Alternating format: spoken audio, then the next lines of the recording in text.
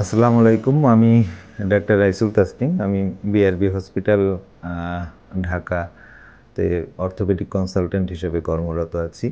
আজকে আমি আপনাদের সামনে স্কোলিওসিস বা মেরুদণ্ড বাঁকা রোগ কি এবং কীভাবে তার প্রতিকার, কীভাবে তার চিকিৎসা, এগুলো নিয়ে একটু কথা বলব। এই মেরুদণ্ডের বাঁকা রোগ বোঝার আগে আমরা ছোট করে বলি যে মেরুদণ্ড শেপটা কেমন থাকে আসলে? আমাদের মেরুদণ্ড কিছু কিছু জায়গায় সামনে বাঁকা, কিছু কিছু জায়গায় পিছে বাঁকা থাকে। এটাই ন্যাচারাল এভাবেই আমাদের শরীর তৈরি। কিন্তু যখন মেরুদণ্ড পাশ দিয়ে বেঁকে যায়, তখন এটাকে স্কোলিওসিস বলি। এটা নর্মাল না। এই টোটাল মেরুদণ্ড যখন পাশ থেকে এভাবে বেঁকে যায় এটাকে স্কোলিওসিস বলা হয়। স্কোলিওসিস রোগটা বিভিন্ন এজ গ্রুপে হয়, কিছু হয় জন্মের পরপরই। আর কিছু হয় জন্মের পরে দেখা যায় না, যত বাচ্চা বৃদ্ধি পেতে থাকে তখন আস্তে আস্তে দেখা যায়। এই জন্মের পরপরই যেটা, এটাকে আমরা কনজেনিটাল বলি। আর পরবর্তীতে যেটা হয়, সেটাকে আমরা জুভেনাইল এবং অ্যাডোলেসেন্ট বাংলায় কিশোর কিশোরী বয়সের একটা, নবজাতক বয়সের একটা, এই দুইটা ভাগে ভাগ করি। এই ভাগটা খুবই জরুরি কারণ চিকিৎসার ক্ষেত্রে যখন মেরুদণ্ড বাঁকা হতে থাকে, তখন আমরা প্রথমেই খুঁজে বের করার চেষ্টা করি যে এটা কনজেনিটাল বা এই নবজাতক ভ্যারাইটি কিনা। কারণ নবজাতক ভ্যারাইটি যদি হয়ে থাকে, তাদের চিকিৎসা যত ছোট বাচ্চাই হোক, ওই ছোট বয়সেই লাগে। ওই ছোট বয়সেই তাদের অনেকের ক্ষেত্রে শুরুতেই অপারেশন লেগে যায় এবং সেটা খুবই জরুরি থাকে। এই অপারেশনটার মধ্যে যাওয়া। আর যাদের এই নবজাতক ভ্যারাইটি না, তাদের ক্ষেত্রে সাধারণত আমরা শুরুতে কোনো বড় চিকিৎসায় যেতে চাই না। শুরুতে আমরা দেখে যেতে চাই, যেটাকে আমরা ফলো আপ বলি। এই মেরুদণ্ডের বাঁকা রোগ সাধারণত যতটুক পর্যন্ত এ পর্যন্ত আবিষ্কার হয়েছে, সবকটাই সাধারণত জেনেটিক মানে জন্মের কোনো না কোনো ছোটোখাটো ত্রুটি থাকার কারণে হয়। এবং জেনেটিক রোগ যেগুলোই হয়, সেগুলো আটকানোর উপায় আল্লাহ তালা আমাদেরকে দেননি। সেটা আসলে যতটুকু চিকিৎসা পরবর্তীতে সম্ভব, সেই চিকিৎসাটাই আমরা দিতে চাই। এটা হবে না, এটা বন্ধ করার মতো উপায় মানুষের হাতে আসলে নেই। যখন হয়ে যায়, তখন চিকিৎসা সাধারণত আমরা তিনটা ভাগে করি। একটা হচ্ছে শুধু দেখে যাওয়া। কোনো অ্যাক্টিভ চিকিৎসা না দেওয়া ছয় মাস পর পর এক্স রে করে করে করে আমরা দেখে যাই যে এটা খুব বাড়ছে কি না আরেকটা চিকিৎসা হচ্ছে ব্রেস বা জ্যাকেট। এই জ্যাকেটের মাধ্যমে যে চিকিৎসা, সেটাও খুব কম পপুলেশন বা কম রুগীকেই আমরা দিতে পারি। সেটা নির্দিষ্ট একটা ক্ষেত্র আছে, সেই পর্যন্তই আমরা দিতে পারি।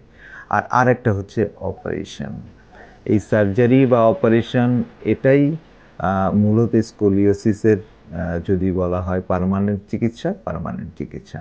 কিন্তু সেটা একটা নির্দিষ্ট সময় আছে। সেটা নিয়েই আমি একটু সাবধানতা বা সাবধান করার জন্যেই এই বিষয়গুলো নিয়ে কথা বলছি। প্রথম হচ্ছে যেটা কনজেনিটাল বা নবজাতক ভ্যারাইটি সেটা তো অবশ্যই পেশেন্টের অ্যাটেন্ডেন্স বা মা বাবাকে মনে রাখতে হবে। এটার মূল চিকিৎসাই ওই ছোট বয়সী।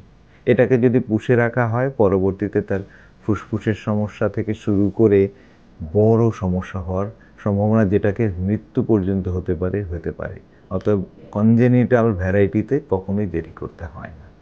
শুরুতেই এই রিলেটেড ডক্টরের সঙ্গে দেখা করতে হবে এবং তারা যেটা বলবেন সেটাকে বিশ্বাস করে সেই চিকিৎসাটা যেতে হবে। কারণ কনজেনিটাল ভ্যারাইটিতে সাধারণত দেখা যায় মেরুদণ্ড খুব বেশি বাঁকা হয়ই না তখনও। কিন্তু কিছু জিনিস দেখে আমরা বুঝি যে এটা পরবর্তীতে খুব খারাপ আকার ধারণ করবে।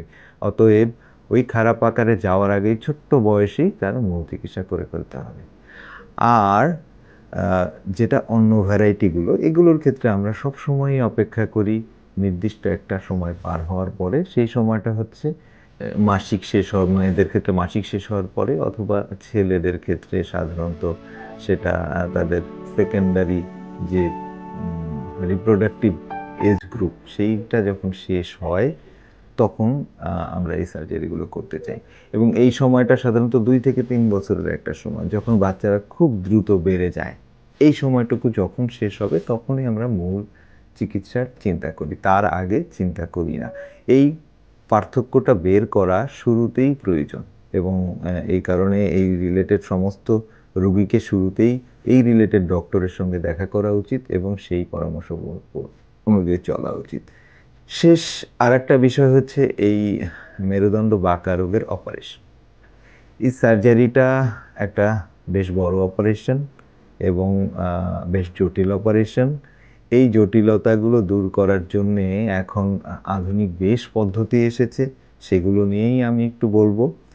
সেটা হচ্ছে যে এই মেরুদণ্ড বাঁকা, সোজা করার যে সার্জারি সেই সার্জারির সবচেয়ে আধুনিক চিকিৎসা হচ্ছে neuro navigation system and O arm system এই পদ্ধতিতে যখনই সার্জারি করা হবে, তখন অনেকটাই সেফ যে কোনো কমপ্লেক্স বা খুব খারাপ ধরনের যেসব বাঁকা থাকে বাচ্চাদের, সেগুলোও সাধারণত আল্লাহ রহমতে জটিলতা ছাড়াই ঠিক করা যায়।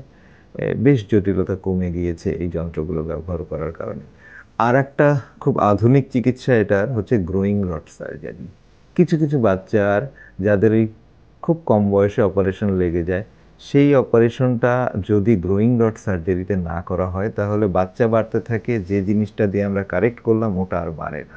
এই কারণে এই আধুনিক চিকিৎসাগুলো শুরু হয়েছে, যেটাতে খুব কম বয়সেও অপারেশন করা হয় যায় এবং পরবর্তীতেও অপারেশন করা যায়, জটিলতা কম দিয়ে।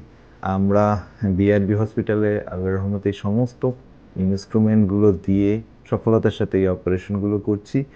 আমরা যারা এই কাজগুলো করি, তাদের প্রথম চাহিদা হচ্ছে যে সময় মতো রোগীগুলোকে যদি আমরা আমাদের কাছে পাই, আমরা সর্বোচ্চ সফলতাটা দিতে পারি। এই কারণে সচেতনতা খুবই প্রয়োজন। প্রতিটা প্যারেন্টস প্রতিটা এই ধরনের রোগীর বাবা মা এবং প্রতিটা এলাকার লোক যদি এই রোগ সম্পর্কে মোটামুটি একটু জানে, সময় মতো আমাদের কাছে আসে, তাহলে আমরা সবচেয়ে বড় সুফল চিকিৎসা তাদের দিতে পারব বলে আশা করি। ধন্যবাদ সবাইকে আমার সঙ্গে থাকার জন্য। বিআরবি হসপিটালস লিমিটেড, কাঙ্ক্ষিত সেবার ঠিকানা।